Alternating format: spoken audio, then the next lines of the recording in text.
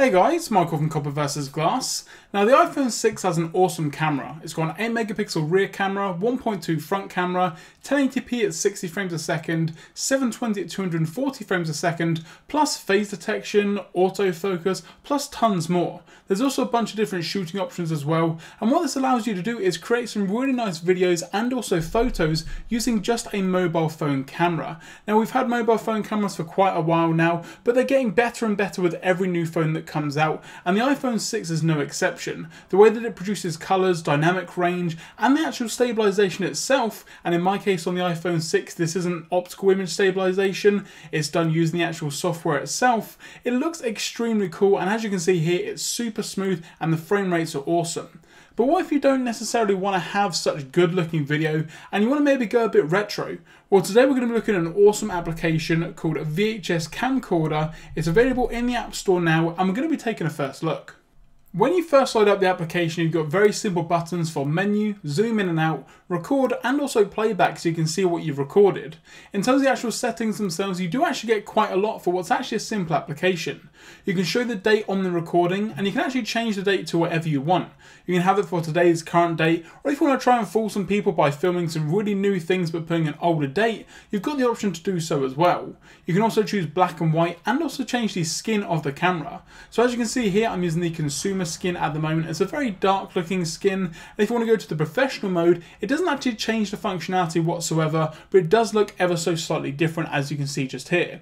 You've also got some other settings as well for tilting the device, which will make the effect slightly worse in terms of where the actual video is filmed. You can choose widescreen, change the resolution, and also the frame rate as well. So you can go from 480p all the way to 1080p and 23 or 29 frames a second, and you've got some information about the developer down below as well. And in terms of the way the application actually works, it's very simple because there's very limited buttons. Now as you can see here, once you press record, you do get a timer down in the bottom corner. And you can see here it's 2.59pm, August 29th, 1984.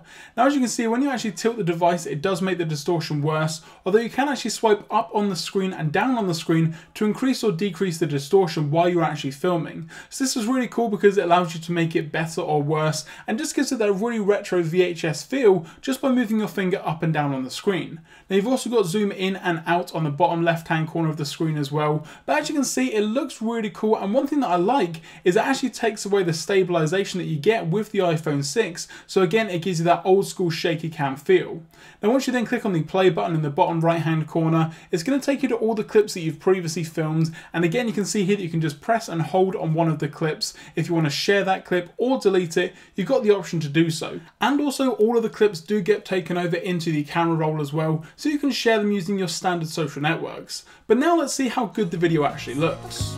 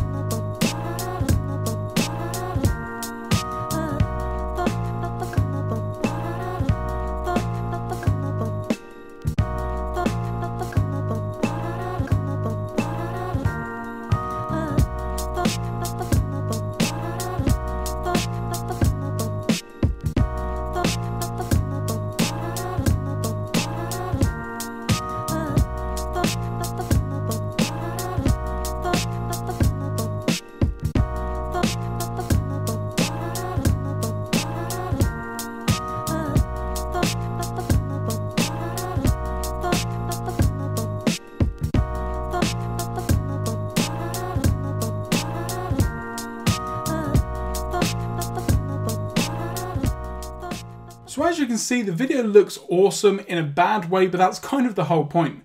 It looks very much like VHS did back in the day, if you guys remember that, and just in general, it has a really cool effect to it. Now you can use this for pranking some of your friends and filming something new and making them think it's old, or just if you want something slightly different to the really crisp video that we're getting these days on phones, it's a great option. I'm going to put links in the description down below so you guys can download the application for yourself. And if you did enjoy this video, be sure to give it a like down below. Also, if you've got any questions about the application or Copper versus Glass, be sure to leave them in the comment section down below on Google Plus or on Twitter at Copper vs Glass. For more great content, don't forget to subscribe.